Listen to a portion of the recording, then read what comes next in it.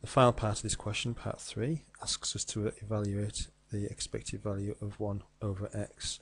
So just remember to invert your x values and it's the same process as finding the expected value of x. So we've got 1 over 1 times 0.2 plus 1 over 2 times 0.4 plus 1 over 3 times 0.4 giving an overall answer of 0.533.